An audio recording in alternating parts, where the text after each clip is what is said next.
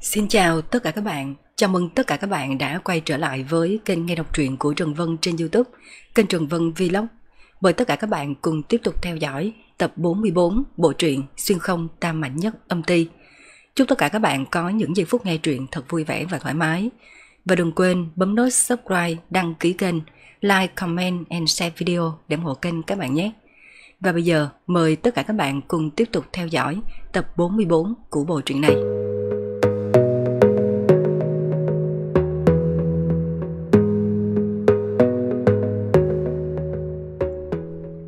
Xe buýt dừng ở quảng trường thành phố. Điền Khoan xuống xe, gật đầu chào Từ Thanh đang đứng chờ. Hoàng Tuyền tại Tiểu Đông sau khi xuống xe, liền đi vòng quanh ngắm cảnh. Họ nhìn đông nhìn tây, thấy cái gì cũng tò mò. Từ Thanh vỗ tay tập trung sự chú ý của mọi người. Hoan nghênh mọi người đã đến thành phố của cõi âm. Nơi này mang hình ảnh của thành phố Thiên Nam, tức là thực tế ảo. Biết bọn họ đang thắc mắc tự Thanh trực tiếp giải thích. Tiếp theo, tôi đọc đến tên ai thì trả lời một tiếng. Cầm ra một quyển sách, tự Thanh bắt đầu gọi tên. Trong sách nêu rõ thông tin đầy đủ về thực lực, chiến tích, tình hình gia đình của mỗi người.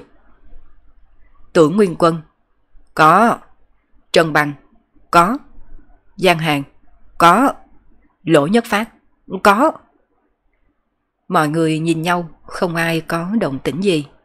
Đương nhiên tự sát, có điên hay không? Sao? Nghe rõ hay chưa?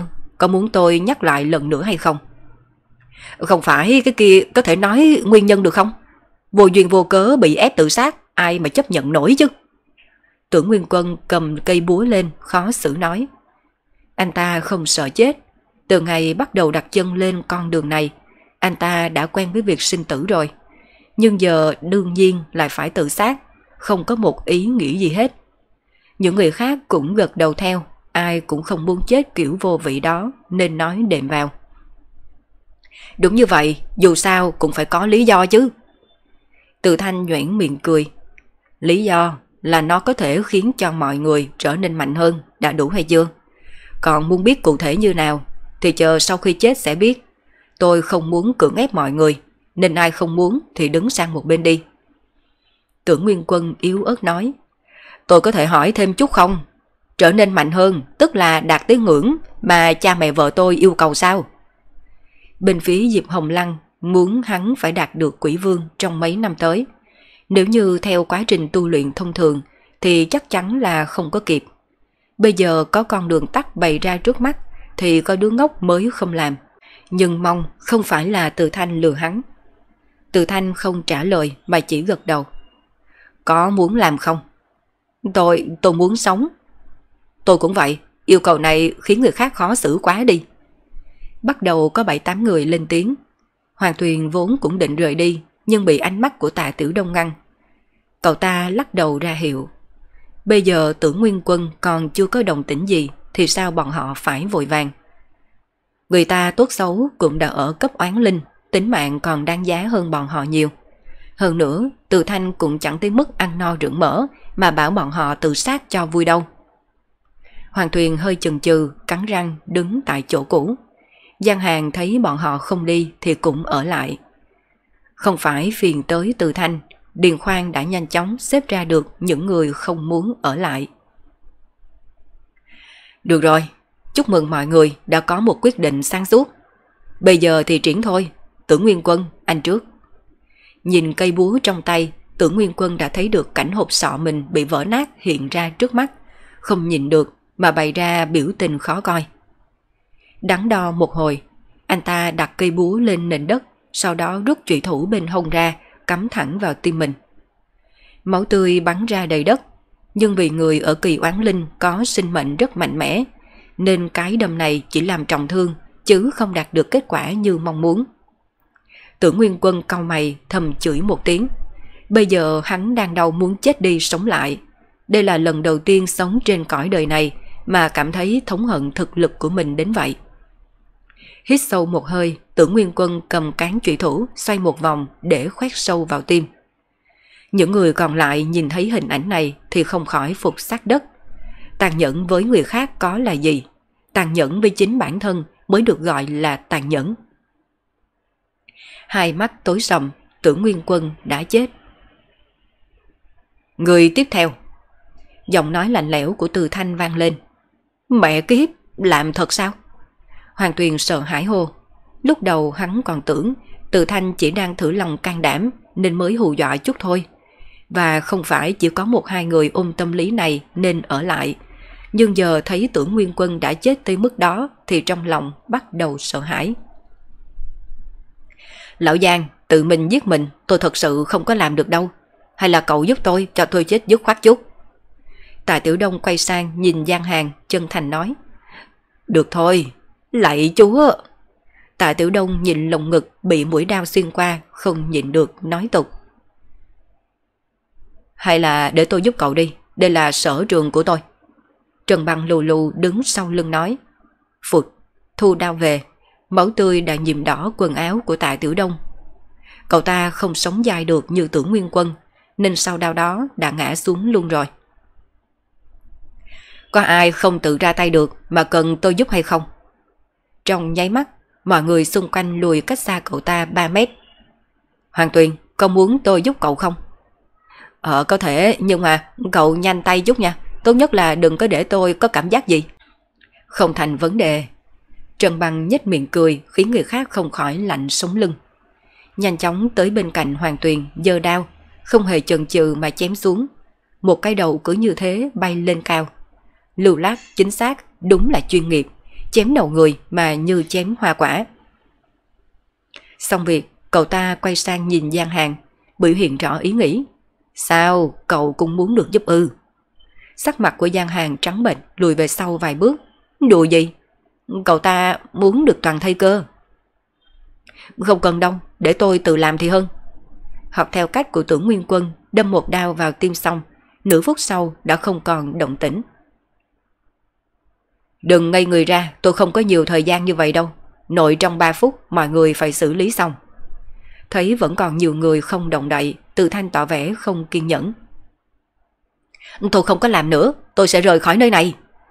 Một người đàn ông ném đao ra cắm vào sàn nhà. Được, cho mấy người một cơ hội cuối. Những người không muốn ở lại thì trong vòng 10 giây có thể rời đi. Từ Thanh vừa nói xong thì 4-50 người đã hạ vũ khí trong tay xuống, nhanh chóng đứng sang một bên. Bọn họ chờ những lời này từ lâu rồi. Từ Thanh vẫn bình thản đợi cho họ đi rồi mới nói. Số còn lại bây giờ muốn hối hận cũng không kịp rồi. Biết là mấy người không có dũng khí để tự sát nên để tôi giúp đi. Hắn bước đến mấy thanh đao khi nãy còn nằm trên mặt đất đã bay lên. Vút, đao kiếm loạn vũ. Chưa đầy hai giây đã thấy mọi người đổ gục hết. Trần Bằng vốn còn định xem thử từ thanh mạnh tới mức nào nên nâng đao lên đỡ. Thế nhưng chưa kịp làm theo thì đã treo. Tới tận lúc chết vẫn chưa thể phản ứng được thì có thể thấy tốc độ của từ thanh nhanh ra sao.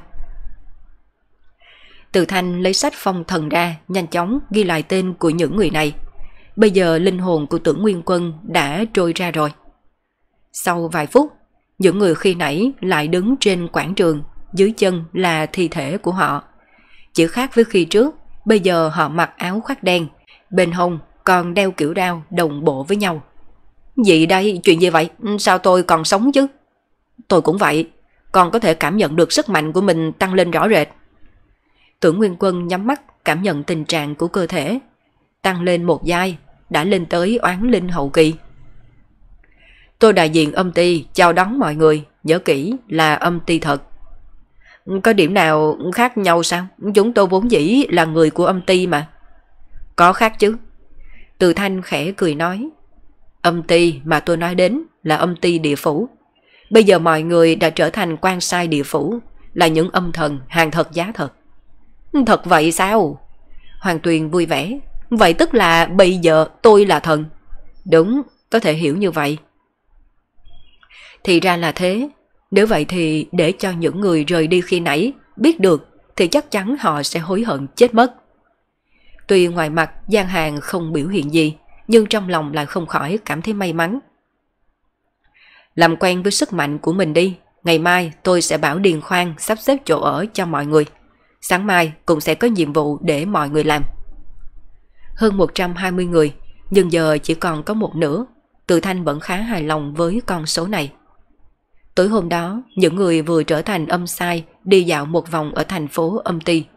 Đám lệ quỷ và giả quỷ trên đường thấy bọn họ đều không khỏi sợ hãi mà tránh ra xa. Trong đoàn không có tưởng nguyên quân, vì lúc này hắn đang uống trà cùng Từ Thanh. Anh còn uống được sao? Thế này cũng quá lãng phí rồi. Thấy anh ta cứ rót hết ly hồng trà này tới ly hồng trà khác, Từ Thanh xót hết mình. Thứ tôi uống là tình cảm, là tình cảm đó có hiểu hay không? Nói thẳng ra đi, anh đến tìm tôi là có chuyện gì? Không phải là chỉ qua đây để uống trà thôi chứ. Tôi rất là bận, không rảnh để chiêu đãi anh đâu. Tưởng Nguyên Quân cười hăng hắc, hắn để ly trà xuống bàn. Tôi chỉ muốn hỏi cậu một chuyện. Cậu nói chúng ta bây giờ đều là âm sai, nhưng tôi cảm giác rằng giữa tôi với những người kia thật không giống nhau. Không giống chỗ nào? Từ thanh ra chiều ngậm nghĩ rồi cười nói. Loại cảm giác này không có nói ra được, nhưng đúng là không giống nhau. Giống như một lời nói của tôi có thể quyết định chuyện sinh tử của bọn họ. Bọn họ mỗi lần thấy tôi đều rất là sợ hãi. Đây không phải là bình thường sao? Anh vốn mạnh hơn họ, nên họ phải sợ anh rồi. Không phải cái kiểu sợ đó đâu. Tưởng Nguyên Quân lắc đầu. Trước kia, bọn họ sợ hãi là do thực lực. Bây giờ là không phải. Kiểu mà họ sợ tôi bây giờ giống như thuộc hạ gặp thượng quan. Tự thanh liếc mắt nhìn, sau đó nói. Anh thật sự không xem xét kỹ lệnh bài của mình sao? Nếu có thì sẽ không hỏi tôi nhiều như vậy đâu. Lệnh bài của anh và bọn họ không giống nhau. Bọn họ là âm sai, dĩ nhiên là dùng lệnh bài âm sai. Còn anh là hắc vô thường, là cấp cao nhất trong bộ phận âm sai. Nên bọn họ sợ anh là đúng thôi. Hèn chi! Vừa nói tưởng Nguyên Quân vừa lật lệnh bài của mình lên xem. Hắc vô thường có địa vị cao sao? Vậy bọn họ đều là thủ hạ của tôi. Đúng là như vậy. Lão Thiên Sư từng nói với tôi. Thiên sư phủ của bọn họ cũng đã từng có vị tiền bối đảm nhiệm chức vụ âm thần ở địa phủ. Thực lực của người đó không kém lão bao nhiêu, nhưng mà chức vị thì không có cao bằng anh đâu. Từ thanh chợt thoáng nghiêm túc, thực lực của địa phủ đã từng rất mạnh. Yêu cầu đầu vào cao một chút là điều bình thường, đáng tiếc bây giờ đã khác xưa. Về việc điều động nhân lực, anh quản một nửa số thuộc hạ, nửa còn lại thì để cho lão thiên sư. Mấy ngày nay ông ấy đã hối thúc tôi nhiều lần rồi. Đúng rồi, không phải cậu từng nói giúp tôi trong thời gian ngắn có thể lên được cấp quỷ vương sao? Không biết là bắt quỷ có thể đổi công đức chứ? Từ thanh giật giật khóe miệng. Ai nói với anh là bắt quỷ tích được công đức? Mấy tháng này số lượng quỷ mà tôi bắt lên đến mấy ngàn. Nếu tích được công đức, chắc tôi đã lên làm Diêm Vương luôn rồi. Ôi, trong tiểu thuyết không phải là như vậy sao? Tưởng Nguyên Quân ngại ngùng gãi đầu. Tiểu thuyết nào? Thật là nói bậy bạ. Mấy loại tác giả đầu đường xó chợ viết mà anh cũng tin sao? Tôi đọc cũng lâu rồi, tự sách là gì tôi cũng quên. À, từ thanh không nhịn được cười. Sau này đọc truyện ít đi. Phương pháp để tăng thực lực rất là đơn giản. Ở các tỉnh tôi đều có xây thần miếu. Tại địa hạt mà anh quản lý, đưa tượng thần của anh lên. Tại nơi đó tôi sẽ cho anh hoạt động một chút. Hương khói của tín đồ sẽ chuyển qua anh một phần. Có hương khói thì anh làm ít công nhiều. Tốc độ tu luyện tăng gấp mấy lần so với trước kia. Từ thanh còn chưa nói hết, nhưng mà hắn tin rằng tưởng Nguyên Quân sẽ hiểu. Nếu hương khói có thể giúp tăng tốc độ tu luyện, như vậy nếu muốn tăng thực lực thì cách hay nhất là phải tăng số tín đồ của mình lên. Người muốn người khác đến miếu của người dân hương, thì trước tiên miếu của ngươi phải linh nghiệm. Không nói trăm chuyện trăm thuận, ít nhất cầu chuyện trừ tà, nhà có thứ bẩn thì ngươi phải hỗ trợ giải quyết. Nếu cầu cái gì cũng không linh thì có quỷ mới đến cầu ngươi. Mặc dù biết rằng để cho tượng thần của tưởng nguyên quân vào miếu thì lượng hương khói của mình sẽ giảm đi, nhưng từ thanh cũng không lo, bởi vì hắn vẫn là nhân vật chính trong miếu. Chuyện này giống như truyền tiêu, người cấp dưới sẽ kéo theo một nhóm thì ông chủ sẽ trả cho hắn một số tiền hoa hồng. Nếu muốn ngựa chạy mà không cho ngựa ăn cỏ, loại chuyện ấy hắn không có làm. Từ thanh đứng dậy vỗ vai tưởng nguyên quân rồi chân thành nói Cố gắng làm tốt chuyện của anh, chuyên tâm vào nghiệp vụ. Gặp ai giỏi thì ngay lập tức tuyển làm thuộc hạ. Mầm non tốt cần phải cho phát triển trước. Trước tiên cho bọn họ mua... À, để cho bọn họ công việc tạm thời. Nếu kẻ nào có biểu hiện tốt thì báo với tôi. Tôi sẽ cho kẻ đó trở thành nhân viên chính thức. Tưởng Nguyên Quân trợn mắt há mồm, còn có kiểu làm việc như này sao? Làm sao lại cho hắn có cảm giác âm sai không đáng giá? Tùy tiện kéo một ác quỷ vào làm cũng có thể được. Hắn đã tưởng rằng chức vụ hắc vô thường dù gì cũng cao. Ngày hôm sau, tưởng Nguyên Quân y lời từ thanh, mang 30 vị âm sai đi đến tỉnh Hán Đông, cộng với 100 ác quỷ đến từ quỷ vực. Phía Nam có tổng cộng 12 tỉnh, từ thanh dự định trấn áp trước 6 tỉnh. Cách mỗi tỉnh sẽ phái một đội quân đi trấn thủ. Như vậy khoảng cách giữa các đội quân không xa, nếu có chuyện cũng có thể nhanh chóng cứu viện.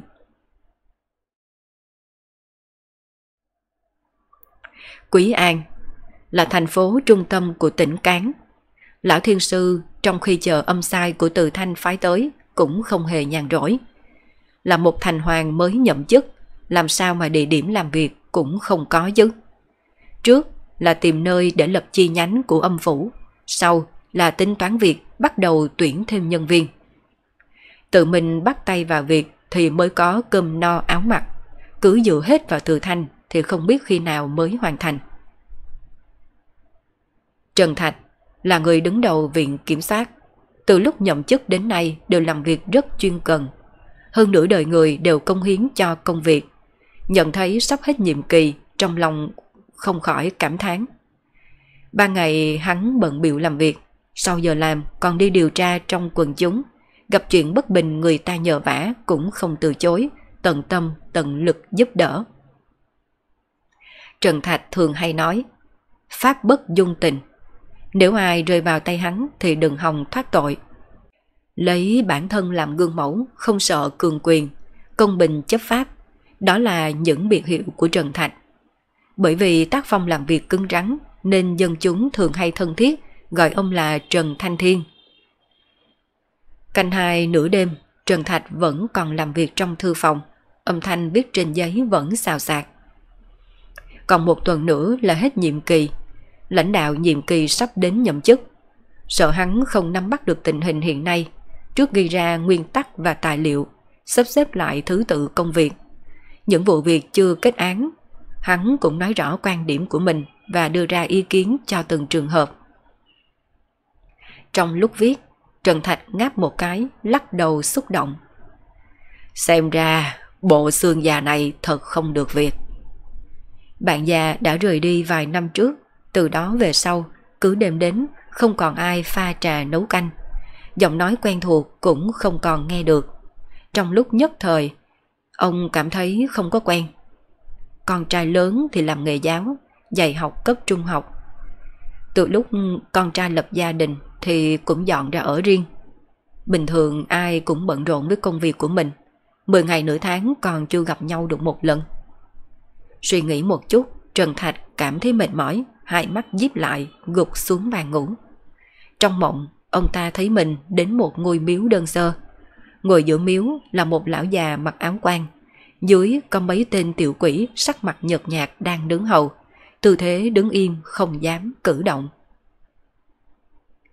Người đến có phải là Trần Thạch không? Tôi là Trần Thạch. Người... Ông là người phương nào? Tôi vì sao lại ở đây? Bình thường không làm việc trái lương tâm, nửa đêm không sợ quỷ gõ cửa. Mặc dù tình cảnh này có chút quỷ dị, nhưng Trần Thạch không hề sợ hãi. Sống đến từng tuổi này, sóng to do lớn, chuyện gì mà ông chưa từng thấy qua. Đôi lúc lòng người còn đáng sợ hơn ác quỷ. Ta là thành hoàng mới nhậm chức. Gọi ngươi tới đây là có chuyện muốn nhờ. Dạ là chuyện gì? Trần Thạch kinh ngạc. Làm thành hoàng mà cũng cần mình sao? Chẳng lẽ trong phủ của họ cũng có quỷ sai bất chánh, mà điều này không thuộc về thẩm quyền quản lý của mình mà? Ta đã điều tra sổ sinh tử, mệnh ngươi sắp tận, nhiều nhất cũng nửa tháng nữa là chết. Khi ngươi còn sống thì làm quan liêm chính, sau khi chết lập tức đến âm ty nhậm chức. Không biết, người có nguyện ý đến làm việc cùng ta, trợ giúp ta quản lý bọn âm hồn ở Cán Châu. Trần Thạch kích động, hai tay run run. Lão Thiên Sư là thành hoàng, đây không phải là đang gián tiếp nhờ vả ông ta hay sao? Nhìn xuống sự vui mừng trong lòng, Trần Thạch gật đầu. Tôi đồng ý. Với chuyện nửa tháng sau sẽ phải chết, ông cũng không mấy để ý. Người thì ai cũng phải chết, ông đã sớm thấu hiểu đạo lý này rồi. Con trai đã thành gia lập thất, bạn già cũng đã qua đời. Ông không còn vướng bận gì ở nơi trần gian này. Lão thiên sư khẽ động tay, ánh sáng bùa chú nhập vào trong tay Trần Thạch. Nửa tháng sau, ta sẽ cho âm sai tới đón người. Thời gian này, người cố gắng sắp xếp mọi chuyện trong nhà đi.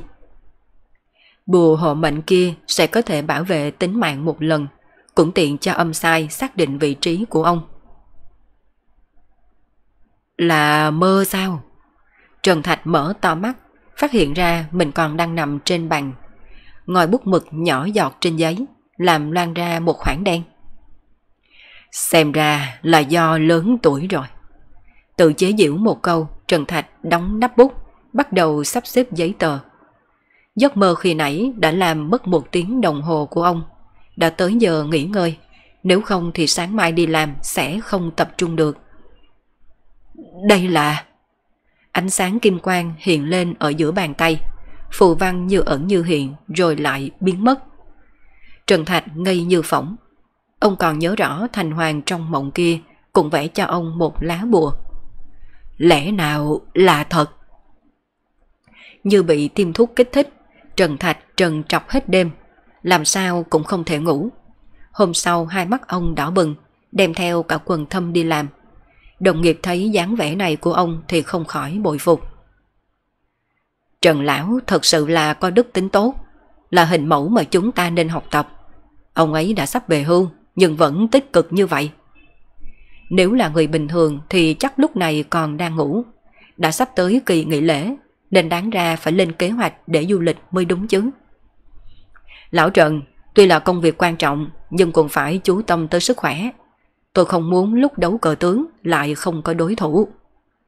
Sau khi vào văn phòng, bạn tri kỷ nhiều năm cười nói với Trần Thạch. Trần Thạch xua tay, không mấy để ý, ông cong mắt cười. Tôi hiểu sức khỏe của mình mà, không được mấy ngày nữa đâu. Trước khi chết có thể làm thêm chút, thì mới không để lại tiếc nuối. Người kia bị dọa cho hoảng sợ, lo lắng nói.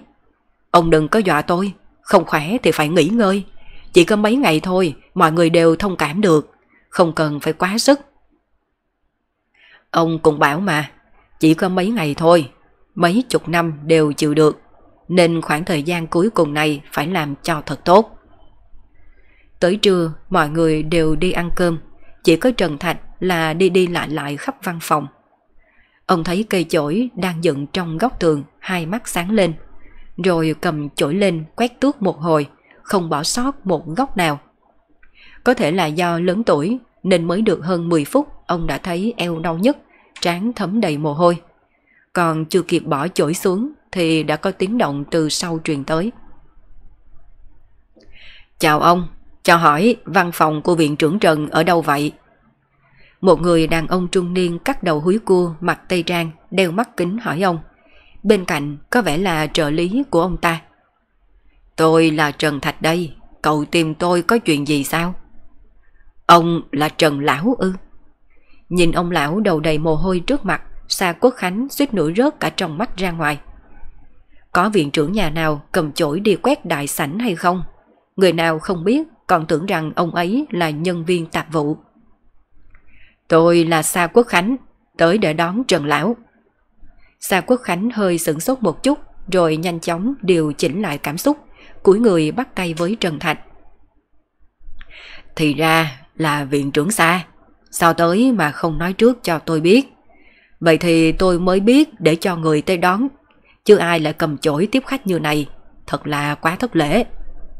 Đâu có đâu có, ngài chính là tấm gương mẫu mực cho chúng tôi học tập, nên sao dám phiền ngài. Hơn nữa sân bay cũng cách đây không xa. Nếu như không phải chắc chắn là lịch trình của mình không để lộ cho người khác, thì thiếu chút Sa Quốc Khánh còn tưởng đây chỉ là một vở kịch. Tấm gương gì chứ, chẳng qua là tận chức trách mà thôi. Hôm nay chẳng qua có hứng nên mới cầm chổi quét tước sơ sơ. Bình thường thì không có làm như vậy đâu. Sau khi đổ rác xong, Trần Thạch cười cười mời Sa Quốc Khánh tới văn phòng mình. Sớm trông mong cậu rồi, cuối cùng thì cũng chờ được. Bộ xương già như tôi cũng nên đi. Vừa nói, vừa đưa tờ giấy đã chuẩn bị sẵn cho Sa Quốc Khánh. Đây là tình hình cơ bản ở tại trong viện này.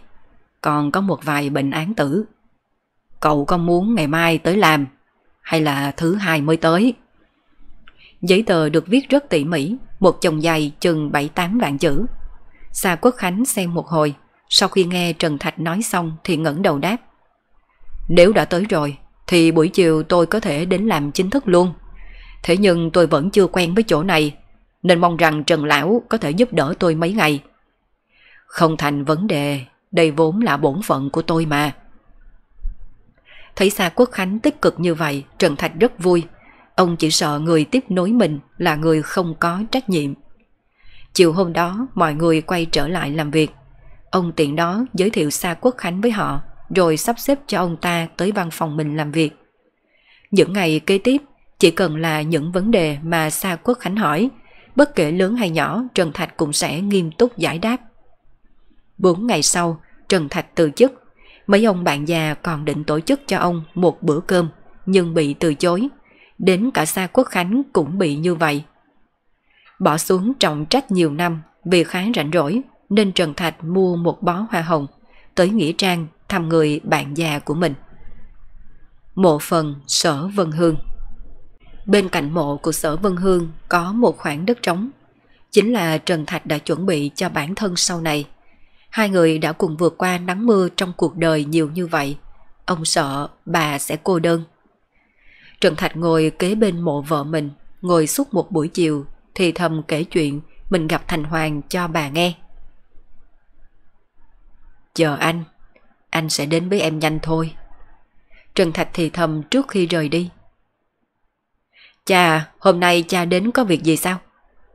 Giữa trưa ngày hôm sau, Trần Cương vừa đi dạy về thì thấy cha đang ngồi ở phòng khách chơi với con mình. Cha về hưu rồi, hôm nay cha đến thăm các con một chút. Vừa đùa giỡn với cháu trai, Trần Thạch vừa trả lời mà không ngẩng đầu. Cha không nói thì con cũng quên. Tính ra năm nay cha về hưu thì nên dọn đến đây ở chung với tụi con. Mọi người có thể chăm sóc lẫn nhau. Đình Đình phải đi làm suốt, cha có thể đúng lúc giúp tụi con chăm các cháu. Ngoài miệng nói rằng muốn cha đến để giúp chăm cháu, nhưng thật sự Trần Cương muốn ở gần cha để tiện thắt chặt tình cảm cha con. Nếu không, dựa vào hoàn cảnh của anh ta, thì việc thuê vú em mấy người mà không được. Cần gì phải bắt một ông lão ở nhà chăm con cháu. Người vợ đang trong bếp chuẩn bị cơm, bất chợt nghe chồng nói như vậy, thì sắc mặt hơi đổi một chút, bàn tay sắc thịt cũng mạnh hơn. Thế giới của hai người đang là quá tốt, tự nhiên gọi ông già đến mà làm gì? Căn phòng rộng như vậy, dùng chung nhà tắm, một căn bếp.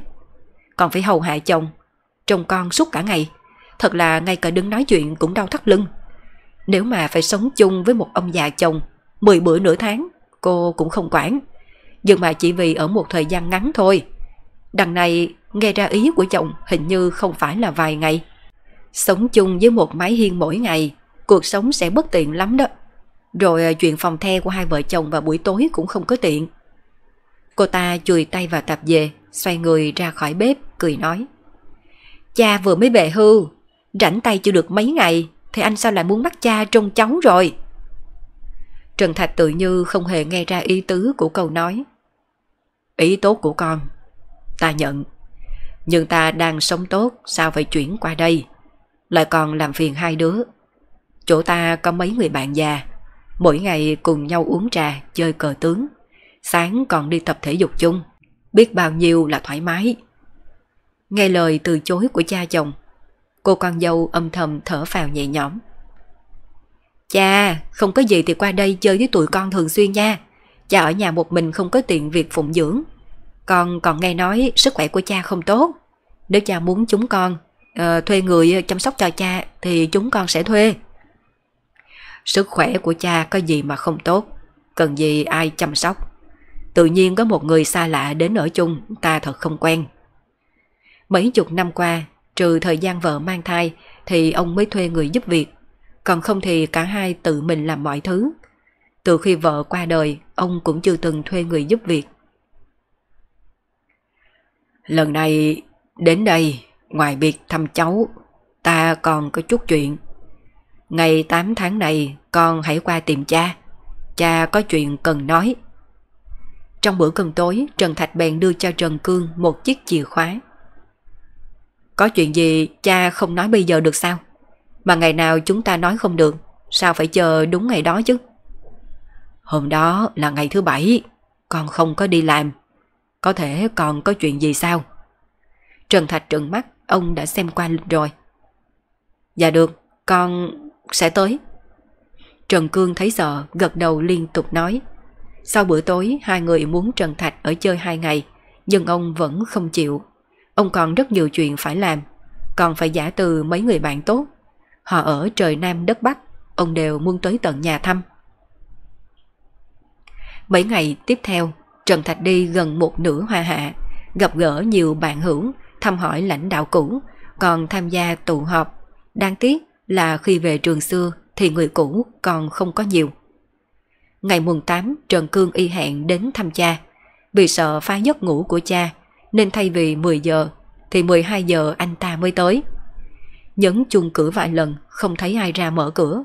Trần Cương bèn lấy chìa khóa của cha ra vào khóa. Cha! Cha à! Cha có nhà không?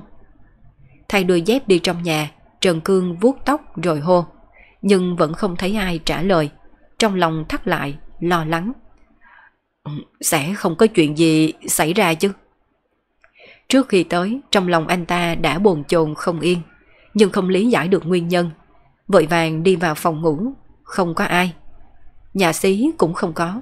Đến thư phòng thì thấy cha mình đang ngồi nhắm mắt. Trần Cương thở phào. Cha, sao con gọi mà cha không đáp? Làm con lo lắng một phen. Cha, cha!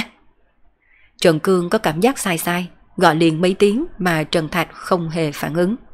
Anh ta bước nhanh về phía trước, chạm khẽ vào người ông. Vừa đụng đến thì thân thể ông lập tức ngã về một bên.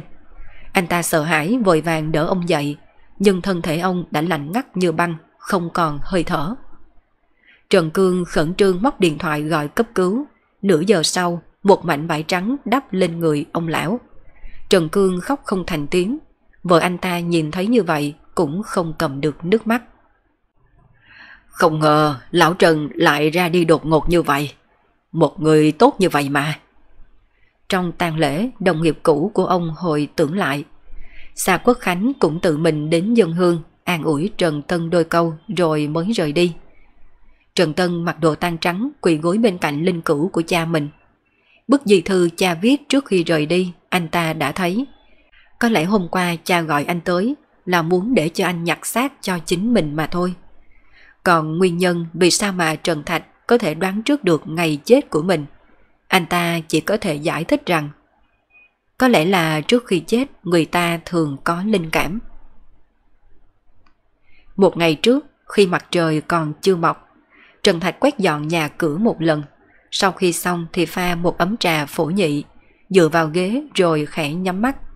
Ông lẩm nhẩm tự nói với chính mình. Nếu như giấc mơ kia là thật, thì hôm nay đúng là ngày mình nên đi. Ông đã viết lại di thư, sau khi con trai tới sẽ nhìn thấy được. Cả đời ông không có nhiều của cải, chỉ có mỗi căn nhà này là đáng giá, nên sau khi mất cũng sẽ để lại cho con trai. Vì để tiếp nhận cái chết của mình, Trần Thạch đã sớm tắm gội sạch sẽ, còn cô ý mặc một bộ quần áo mới màu đen theo kiểu tôn trung sơn. Còn chưa uống hết nửa ấm trà thì ông đã bắt đầu có cảm giác tức ngực, hô hấp ngắn lại, mi mắt sụp xuống. Lúc này hai hư ảnh bước qua cửa lớn đi tới trước mặt Trần Thạch. Bỗng nhiên, tinh khí trong người ông tăng lên, đôi mắt bị lão hóa cũng trở nên sáng ngời. Hình dáng của hai người trước mặt dần rõ lên. Sau khi thấy rõ hai người bọn họ, Trần Thạch có hơi kinh ngạc. Thế nhưng nhiều hơn là sự tò mò. Mặc đồ trắng, lưng đeo xích sắt, trang phục kiểu cổ đại. Đây rõ ràng là âm sai rồi. Sống qua vài thập kỷ, nhưng đây là lần đầu tiên ông được tận mắt nhìn thấy âm sai như này. Một trong hai người lên tiếng. Trần Lão tiên sinh, chúng tôi theo lệnh của Thành Hoàng tới đây, mời ngài đi nhậm chức. Vị trí đảm nhận là trưởng quan. Đi bây giờ luôn sao? Mong ngài chờ chút, còn nửa khắc nữa. Âm sai ngượng ngùng, ngữ khí vẫn rất cung kính. Tuy rằng không nằm dưới quyền người này, nhưng chức quan của ông lại cao hơn mình, nên hắn ta không thể nào đắc tội được. Được rồi, vậy thì đợi thêm.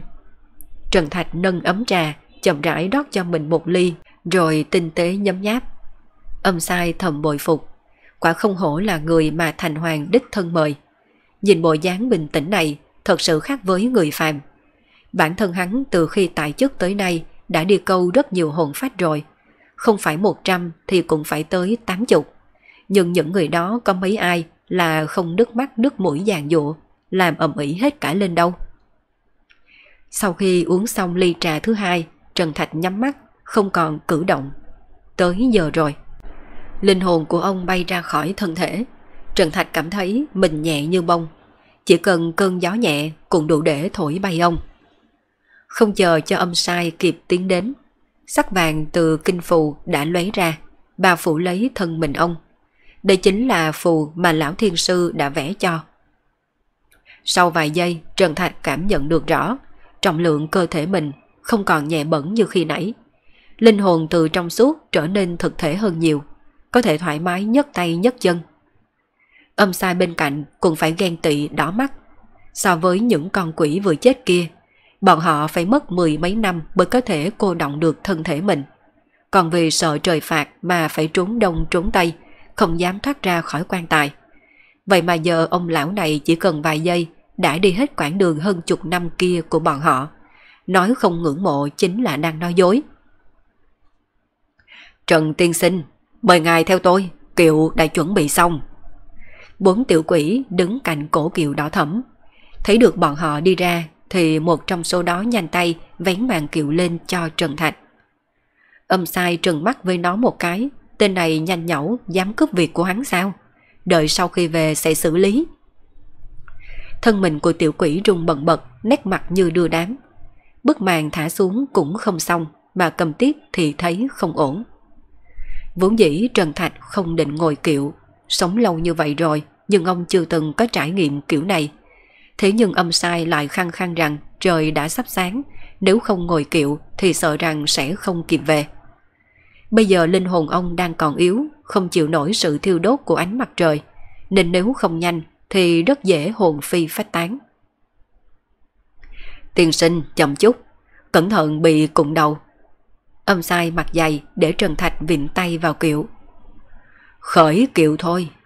Sau khi chờ cho Trần Thạch ngồi ổn định, đám tiểu quỷ lại nâng kiệu bước đi, tốc độ rất nhanh, chớp mắt đã không thấy đâu. Trần Thạch ngồi trong kiệu không hề cảm nhận được sự rung lắc, cứ như bản thân đang bước trên mặt đất bằng. Nếu không phải nhìn qua cửa sổ thấy được cảnh sắc đang lùi dần về sau, thì ông còn tưởng rằng mình đang ở nguyên tại chỗ cũ. Không lâu sau, họ đã tới được huyện Khai Dương, là biên giới của thành phố Quý An. Ở đây có một tòa miếu thành hoàng duy nhất ở Cống Châu. Tuy miếu có hơi cũ nát nhưng đã được sửa chữa lại nên nhìn cũng khá thoáng, thì thoảng cũng có khách hành hương tới. Tiên sinh, đến nơi rồi. Âm sai nâng mạng lên, mời Trần Thạch đi ra. Biếu thành hoàng thư thất người, sáng sớm tinh mơ, mọi người đều bận nên cũng không khó hiểu. Vừa bước chân vào thì cảnh tượng trước mắt ông đã thay đổi. Vốn dĩ là nơi đặt tượng thần, nhưng sau đó lại trở thành nơi kê một cái bàn án, hai bên đặt giá gỗ, bày biện đầy gậy gỗ. Thành Hoàng ngồi ở bàn án lên tiếng. Trần Tiên Sinh mời ngồi. Lão Thiên Sư chỉ về cái ghế ở bên cạnh. Ngài gọi tôi là Trần Thạch là được rồi. Trước mặt ngài thì kẻ này thật không dám nhận hai chữ tiên sinh. Sao lại nói như vậy được? Phải có trước có sau chứ. Tùy tôi sống lâu hơn ông được vài năm, nhưng xét về việc phán đoán và xử lý các vụ án, thì ngài cũng đã xứng với danh xưng này rồi. Lão Thiên Sư không phải là cố ý cho Trần Thạch đi cửa sau, mà ông đã điều tra qua tư liệu của người này rồi. Là một người thanh liêm, có tuổi nghề mấy chục năm ở viện kiểm sát và từng điều tra qua cả ngàn án tử. Ngài khách sáo rồi. Trần Thạch chấp tay ý cười trên mặt hiện rõ. Những vinh quang ở nhân gian kia chỉ là hư ảo. Có người nịnh nọt nhờ vả ông làm việc, còn gán cho ông không ít danh. Thế nhưng đó cũng không thể thắng nổi một câu này của Thành Hoàng. Chính thần của địa phủ đã nói như vậy, tức là đã công nhận ông rồi. Thành Hoàng đã nói vậy thì Trần Mổ không dám từ chối. Nguyện lấy thân tàn này để công hiến sức lực cho âm phủ. Lão Thiên Sư gật đầu lấy ra một quyển sổ. Đây là hộ tịch của người dân sống ở Quý An. Từ sau khi đảm nhận chức vụ này, ông đã tiếp quản. Trước đó vài ngày, tôi đã nói qua. Mong là ông có thể đảm nhận chức vụ ở đây. Bây giờ Phủ Thành Hoàng đang thiếu một trưởng quan. Không biết ông có thể đảm nhận được không?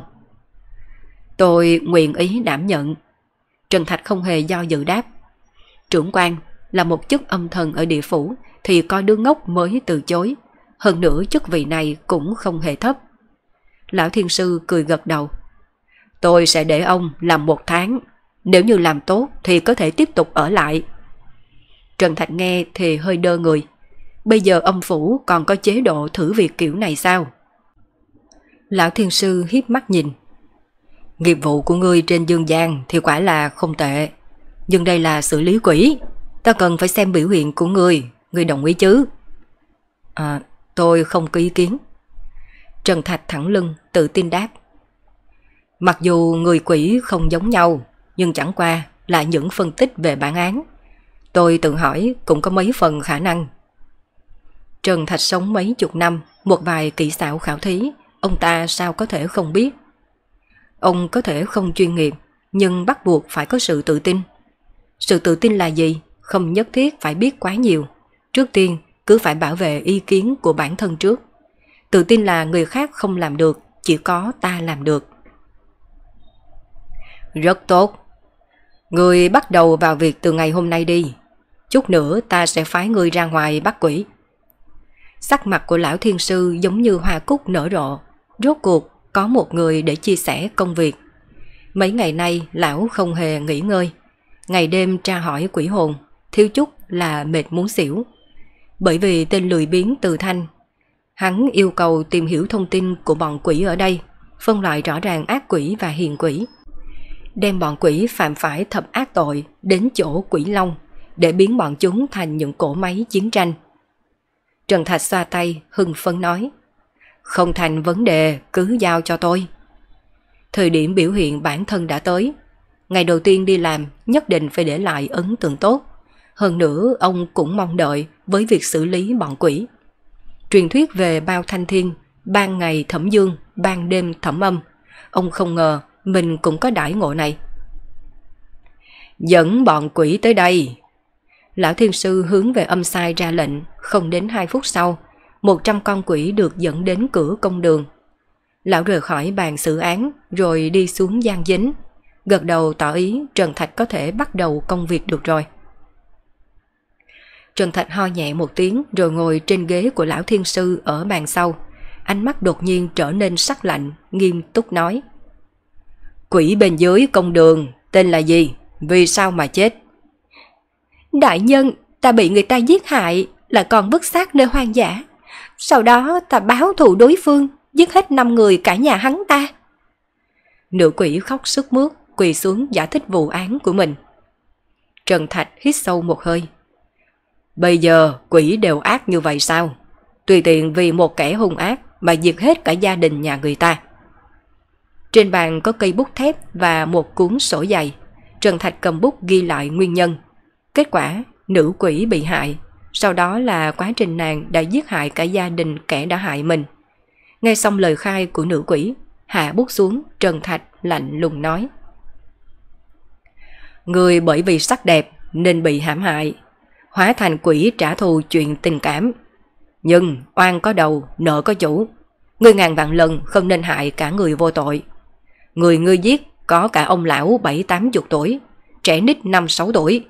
Bọn họ và ngươi không thù không oán, ngươi sao có thể xuống tay được. Trong cuốn sổ có nhiều chỗ đánh dấu, chia các vụ án thành mấy phần. Vô tội, tình hữu khả nguyên, nghiêm trọng, thập ác không tha. Trần Thạch viết bên dưới một thập ác không tha, viết rõ nguyên nhân rồi ký tên vô. Làm được, không tệ, tiếp tục đi. Lão Thiên Sư vui vẻ gật đầu. Suốt một đêm, Trần Thạch xử 52 vụ án. Dù là quỷ thì cũng mệt ngất ngư. Nhưng bởi vì có sếp đứng bên cạnh nên ông cũng cố tỏ ra vân đạm phong khinh. Lại qua thêm 3-4 giờ, Trần Thạch cứ nhìn vào trương thủ nhân mà không nói, làm cho trương thủ nhân cũng không hiểu ra sao. Ừ, đại nhân à, khi nào thì tan việc?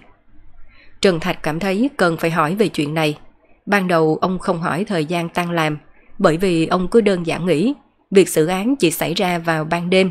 Ngoài trời bây giờ vẫn xám xịt, nhưng ông biết trong cuộc sống thực thì bây giờ đã gần trưa rồi. Ngay cả là công xưởng làm việc chui cũng phải cho người ta nghỉ ngơi. Có thể là ngài mỗi ngày quản quá nhiều việc nên quên nhắc nhở tôi. Đúng có lẽ là vậy rồi.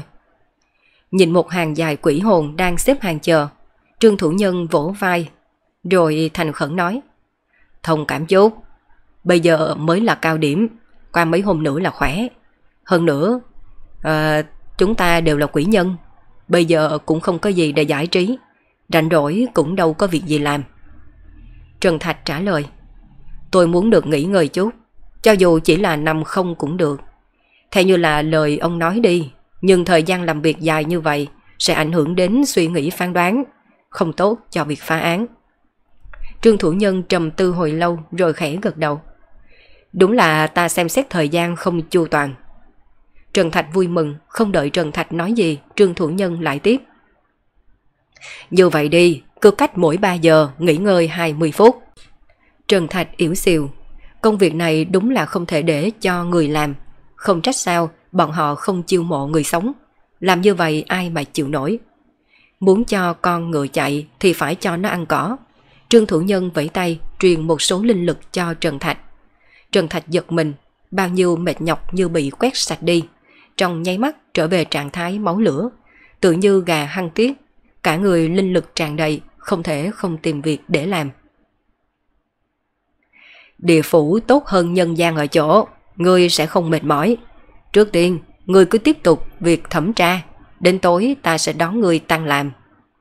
Sau khi nói xong, Trương Thủ Nhân liền đi về hậu viện. Đã nửa tháng rồi, lão chưa được chập mắt một lần, bây giờ tranh thủ nghỉ ngơi.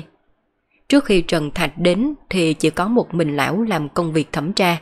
Mặc dù đã đạt đến cảnh giới quỷ vương, nhưng lão cũng không chịu nổi áp lực lớn như vậy. Vấn đề này không liên quan đến chuyện mệt mỏi hay không, chỉ là về tinh thần lại tạo cảm giác chán ghét. Ngủ một giấc để điều chỉnh tâm tính vẫn là tốt nhất. Người kế tiếp Trần Thạch cầm kinh đường mộc vỗ một cái gọi to.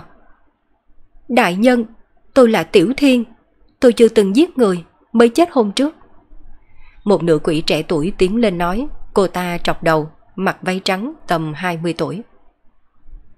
Sao âm sai nói, người chống người thi hành công vụ? Tôi, tôi không muốn đầu thai, tôi muốn ở cùng bạn trai.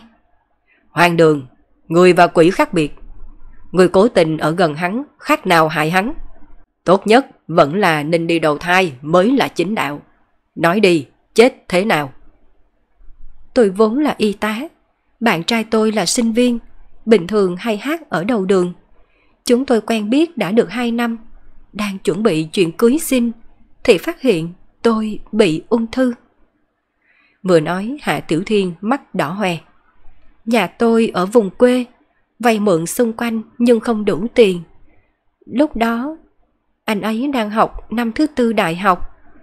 Anh ấy lấy học phí năm cuối chữa bệnh cho tôi, đồng thời bỏ học đi làm. Nhưng mà vẫn không đủ tiền hóa trị liệu. Trần Thạch thầm gật đầu, hèn gì cô gái này rụng hết tóc. Thuốc hóa trị ung thư có loại nhập khẩu, có loại là hàng quốc nội. Thuốc rẻ cũng 2.000 tệ một liều, nhưng tác dụng phụ nhiều. Người bệnh uống vào sẽ rụng tóc, chán ăn, buồn nôn. Thuốc tốt không tác dụng phụ thì lại quá đắt, tầm 7.000 tệ một liều. Người có gia cảnh bình thường thì căn bản không dùng nổi. Tôi nghĩ mình không muốn liên lụy họ nữa, nên bạn tự sát. À, cô gái, một khi cô đã đến đây thì tôi cũng nói rõ là cô không thể quay trở về. Còn điều gì muốn nhắn gửi lưu lại hay không? Tôi sẽ phá lệ cho người về báo mộng cho họ một lần. Xin đa tạ đại nhân, tôi cũng chỉ muốn lời tự giả với họ thôi. Trần Thạch gọi một âm sai, bảo hắn giúp cô gái về nhà báo mộng một chuyến. Người kế tiếp Xuân đi thu tới trong thời gian ngắn thần miếu ở Hoa Hạ được xây dựng khắp nơi, thế lực địa phủ ngày một mạnh hơn. Bây giờ quân số âm sai chính thức cũng vượt qua mức 100 ngàn, 600 hắc bạch vô thường, tất cả đều là đạt tới mức độ oán linh kỳ. Cấp quỷ vương thì có 8 người, phần lớn dựa vào hương khói để tăng linh lực. Tưởng Nguyên Quân đạt được ý nguyện lên cấp quỷ vương. Triệu Hằng biết được điều này, há hốc miệng đến xém rơi cả quai hàm. Việc này không khoa học a dùng đúng thuốc cũng không nhanh như vậy chứ. Tại chợ Thiên Nam, một cô gái trẻ cau mày, sắc mặt cô ta tái nhợt, thể hiện tình trạng bệnh tật. Tiểu thư à, sao người cứ nhất thiết phải tới đây vậy? Tới Phủ Thiên Sư luôn là được rồi. Em nghe nói đời Thiên Sư mới này rất mạnh, còn được gọi là đệ nhất thiên tài trong mấy trăm năm qua. Nói ra thì rất có khả năng đột phá Nguyên Anh được luôn. Một cô gái mặc đồ vàng tuổi chừng 17-18 vừa đi vừa nói, trong mắt hiện ra sự tán thưởng. Nhóc con này, Nguyên Anh đâu phải thứ dễ dàng đạt được. Cô gái kia khẽ cười, lắc đầu. Dù là ở chỗ đó của chúng ta, thì lên được Nguyên Anh cũng chỉ có mấy người mà thôi. Vậy còn bệnh tình của tiểu thơ thì phải làm sao? Thế lực mạnh nhất ở nhân gian này chắc hẳn là Phủ Thiên Sư rồi. Giờ chúng ta không tới chỗ bọn họ mà tới đây làm gì? Ta hiểu rõ bệnh tình của mình mà, ngay cả phụ thân cũng không chữa khỏi, thì tới Phủ Thiên Sư cũng tốn công vô ích mà thôi. Hơn nữa nghe nói ở thiên nam này từng xuất hiện kỳ tích, chúng ta tới đây thử vận may thì tốt hơn. Nhưng chỗ này lớn như vậy, chúng ta phải đi đâu để tìm?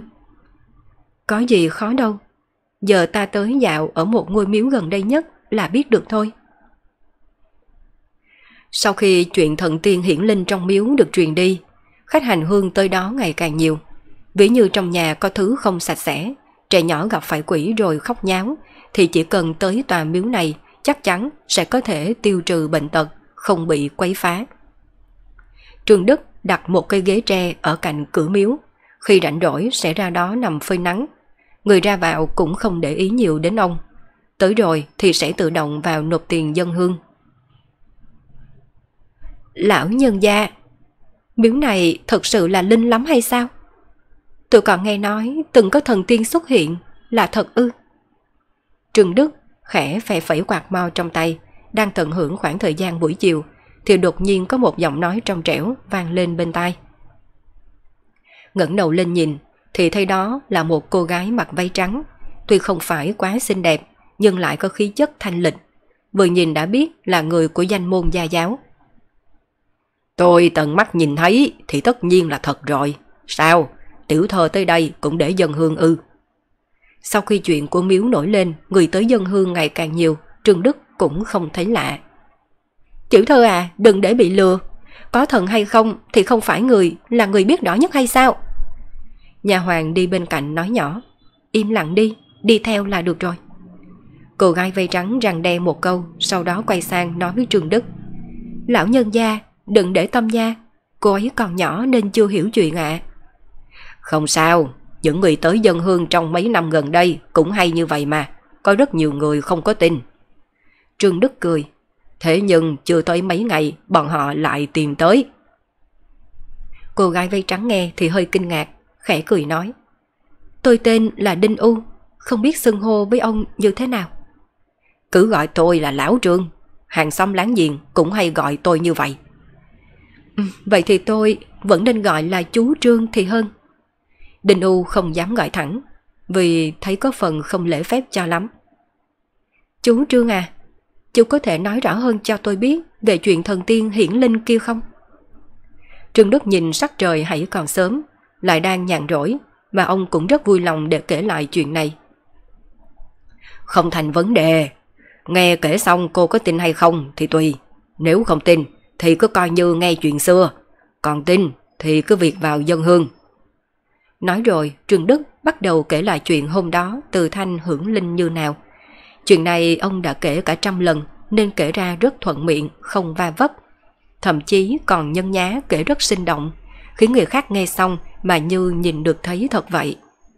Đinh U và nhà hoàng của mình nghe rất chăm chú, thoáng chốc còn suýt tin luôn. Đặc biệt là Trương Đức còn thề với trời và đảm bảo bản thân không có nói dối một câu. Tiểu thơ à, chúng ta có nên đi dân hương không? Nhà hoàng bên cạnh bán tính bán nghi. Khi nãy cô không hề tin, thế nhưng ngay xong lại bắt đầu tin hơn rồi.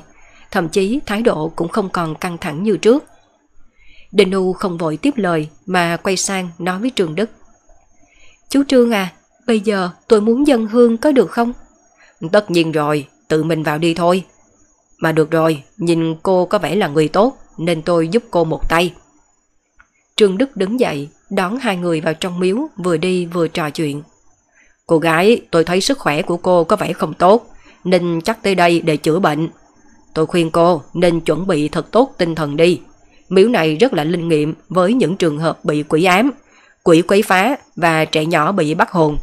Nhưng còn bệnh tật và tài phú thì không chắc lắm đâu. Nghe vậy, nha hoàng có vẻ không mấy vui. Hào cảm khi nãy hoàn toàn bay biến. Nếu đã là thần tiên thì sao không thể cứu chữa bệnh được? Chắc là hư danh thôi. Tiểu Hòa im miệng đi. Không sao, không sao, không biết không có tội mà. Trương Đức không để tâm, vẫn kiên nhẫn giải thích. Thần tiên cũng có từng loại, giống như muốn mở khóa thì phải tìm thợ khóa, muốn làm gia cụ thì đi tìm thợ mộc.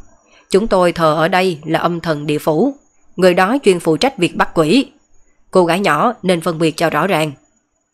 Ông, thôi được rồi, tôi lại muốn xem thử vị âm thần mà mấy người đang thờ phụng là ai. Tiểu Hoa bị nói tới cứng miệng. Phán quan địa phủ. Sao tôi lại chưa từng nghe qua nhân vật này? Đình U nhìn tượng thần hơi nhướng mày hỏi. Một phán quan trẻ tuổi như vậy, đây là lần đầu tiên cô thấy. Lục tìm những tin tức về địa phủ trong đầu, cô vẫn không thấy có vị phán quan nào giống như vậy. Nhà hoàng tỏ ra tức giận, hung dữ nhìn Trương Đức như đang nói. Nhìn đi, đây không phải là giả thần giả quỷ thì là gì? Trương Đức không vui nói. Này cô gái, thần chức ở địa phủ có sự thay đổi thì có gì lạ sao? Ai quy định ở dưới đó chỉ có bấy nhiêu vị thần mà cô biết. Không phải trước khi có bao chuẩn thì còn có chính điện Diêm La. Biết đâu vị phán quan này của chúng tôi là người mới nhậm chức cũng nên. Thấy Tiểu Hoa còn định tranh luận thì Trương Đức nói tiếp. Hơn nữa, không chỉ mình miếu của chúng tôi thờ vị phán quan này. Theo như tôi biết, thì cả nước cũng phải có tới cả ngàn tòa miếu cung phùng ngày ấy. Trước không nói tới có quốc gia chống đỡ sau lưng. Chỉ giả sử nếu đây là giả thôi, thì địa phủ sớm đã biết và không cho phép điều này tồn tại rồi. Đinh U gật đầu, cô cũng cảm thấy Trương Đức nói khá đúng. Đúng rồi chú Trương à, lúc đó chú nói người cư chú là tuần sát xứ đúng không? Sao lại không thấy tượng của ngài ấy, mà thay vào đó là phán quan? Trương Đức cười, đây chính là vị tuần sát xứ kia. Từ mấy năm trước, lệnh bài của ngài ấy đã thay đổi rồi. Sợ Đinh U không hiểu, ông lại giải thích thêm. Là mấy ngàn ngôi miếu trên khắp nước đều thay đổi mới đúng. Uhm, thật thú vị à. Xem ra bản thân nên thành tâm bái lại một lần xem sao. Đinh U nghĩ, sau đó cung kính không lưng. Nhà hoàng tiểu hoa theo sau, không mấy tình nguyện, cũng dân hương. Vừa cúi đầu, Đinh U vừa niệm trong lòng. Ở cách đó mười mấy dặm, trong cửa hàng sách của mình. Từ Thanh đang lười biếng nằm bò trên bàn. Long Vũ và Từ Mai đã sớm tổ chức đoàn du lịch để đi chơi cùng nhau rồi. Vốn dĩ hắn cũng muốn đi theo, nhưng lại không thể để nơi này không lo được. Khi có việc hắn lại phải chạy về nên khá phiền phức. Nhưng cũng may, bên phía âm ty không còn quá nhiều việc, nên không còn bị mệt như trước. Không có nhiều người tới tiệm mua sách lắm, bây giờ đang là cuối tháng 8, sắp tới mùa nhập học. nên đa phần học sinh đều sẽ tới đây để làm bài tập hè. Mấy đứa nhóc tụ tập thành nhóm, mỗi đứa một ly trà sữa là có thể ngồi tới hết ngày. Từ Thanh chỉ có thể trơ mắt nhìn cảnh này diễn ra hàng ngày. Hắn lấy di động ra chụp vài tấm rồi đăng lên diễn đàn của mấy trường học lân cận. Đang lúc hắn đắc chí thì bỗng nghe được một tiếng nói truyền từ nơi xa. Lập tức sắc mặt thay đổi, nhắm hờ hai mắt rồi bắt đầu lẩm nhẩm trong miệng. Lúc này Đinh U đã dâng hương xong, cô ệ oải bước ra cửa thì lại nghe được tiếng từ thanh vang lên trong đầu mình. Kết thúc tập 44 của bộ truyện xuyên không tam mạnh nhất âm ti. Cảm ơn tất cả các bạn đã theo dõi.